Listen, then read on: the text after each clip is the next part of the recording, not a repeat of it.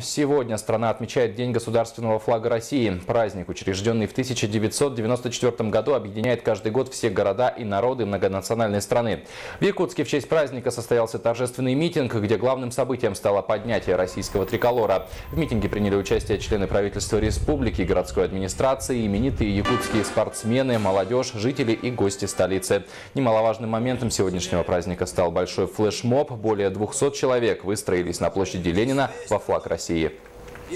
Ну, День э, государственного флага России – это новый праздник. Мы только к нему привыкаем.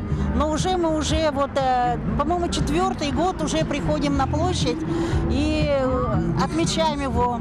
Это праздник дружбы народов, да, это праздник единения. Ну и все равно какое-то вдохновение, счастье, потому что есть такой праздник, потому что есть у нас Родина, есть у нас российский государственный флаг.